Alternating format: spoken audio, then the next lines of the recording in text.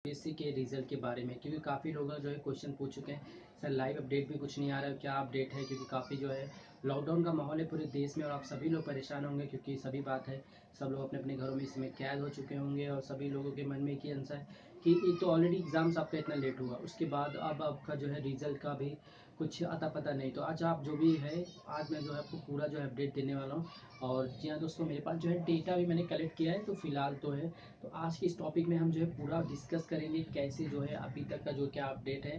तीन सौ सत्तावन पोस्ट के लिए आपकी एग्ज़ाम ली गई थी जी हाँ दोस्तों। और तीन सौ सत्तावन पोस्ट के लिए आपका एग्ज़ाम लेने के बाद अभी तक जो है इसके रिज़ल्ट को लेकर कोई अपडेट नहीं आई है। बात करें तो ऑनलाइन स्टार्ट की, क्योंकि जो नए व्यूवर्स हैं, उनको नहीं पता होगा तो मैं चाहूँगा वो भी एक बार ध्यान से रिमाइंडर हो जाए उनको। पंद्रह नवंबर को जो है आपका जो है एप्लीकेशन स्टार्ट हुआ था और तेईस दिसंबर को आपका जो है रजिस्ट्रेशन का लास्ट डेट था।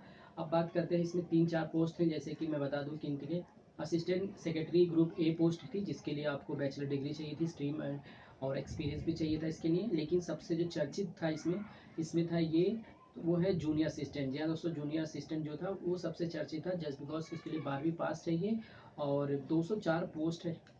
तीन सौ फिफ्टी सेवन है। थ्री फिफ्टी सेवन में से टोटल जो है दो सौ चार पोस्ट जो है सीबीएसई की सिर्फ़ और सिर्फ़ जूनियर असिस्टेंट की है। और यहाँ पे जो मैंने टोटल ओवरऑल जो आपको बताया था, कितने बच्चों ने जो रजिस्ट्रेशन किया था वो भी सबसे ज़्यादा जो जूनियर असिस्टेंट का है। तो दोस्तों, बात ये है कि यहाँ पे रिज़ल्ट को लेके क्या अपडेट है? तो दोस्तों रिज़ल्ट को लेके सिर्फ़ एक ही अपडेट ये आ रही है कि रिज़ल्ट जो है, वो अभी आपका जो है, अब तो चौदह अप्रैल तक तो आपका जो है लॉकडाउन है। उसके बावजूद भी आपको अप्रैल में बहुत ही मुश्किल है कि वो जो है रिज़ल्ट जारी कर दिया जाए। क्योंकि दोस्तों, आपको पता है कि रिज़ल्ट जो है तुरंत जैसे ही लॉकडाउन ओपन होगा, इसका मतलब ये नहीं कि सारे हालात एकदम हंड्रेड परसेंट ठीक हो जाएँगे। जी हाँ दोस्तों, जो परसेंटेज ऑफ़ पीपल्स हैं, वो जो है बहुत ही कम लोग जो है ऑफ़िस जाएँगे। क्योंकि श्री नरेंद्र मोदी जी ने कहा है कि एकाएक तो भीड़ इकट्ठा नहीं हो सकती। जैसे कि आपने देखा, जनता कर्फ्यू के नेक्स्ट डे ही कितने लोग जो है सड़कों पे निकला है जिसकी वजह से जो है उन्होंने एक नया फैसला लिया कि जो है लॉकडाउन किया जाएगा इक्कीस दिन का।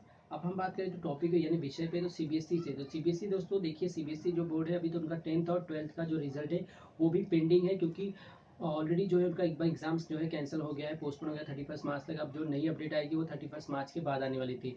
लेकिन इक्कीस दिन का लॉकडाउन हो गया तो वो भी अब बहुत मुश्किल है कि जो वापस से उनका जो है रिकंडक्ट होगा।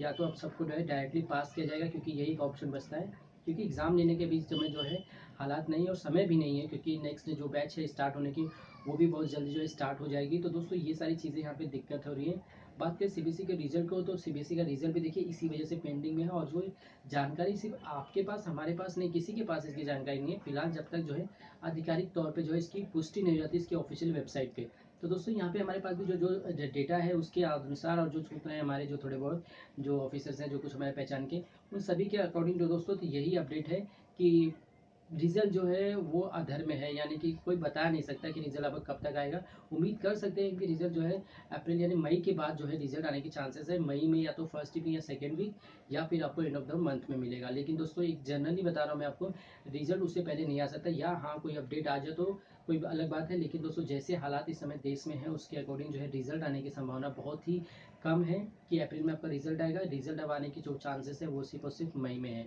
तो दोस्तों, आपके जो भी क्वेश्चन होंगे प्लीज़ आप वीडियो कीजिए कमेंट कीजिए। फ़िलहाल तो हम इक्कीस दिन लॉकडाउन है, आप भी हैं, हम भी हैं, सभी लोग हैं। तो आपके जो भी क्वेश्चन होंगे, हम सब कुछ सॉल्व करेंगे और साथ में दोस्तों हमारी क्लासेस भी स्टार्ट हो चुकी है। तो हम चाहेंगे कि एक समय क्या मैं भी ऑफ़िस मेरा भी जब ऑफ़िस के जब पूरा देश बने तो मेरा भी ऑफ़िस बंद ही है तो मैं भी फ्री हूँ। तो मैं चाहूँगा कि आपके जो भी क्वेश्चन है, जो भी क्वेरीज है, चाहे D R M T S का हो सिप्टम का हो, जो भी आप एग्ज़ाम की तैयारी कर रहे हैं सी एच एस एल का है, उसके बारे में कोई भी जानकारी या फिर कैसे एग्ज़ाम की तैयारी करना है, सब कुछ आप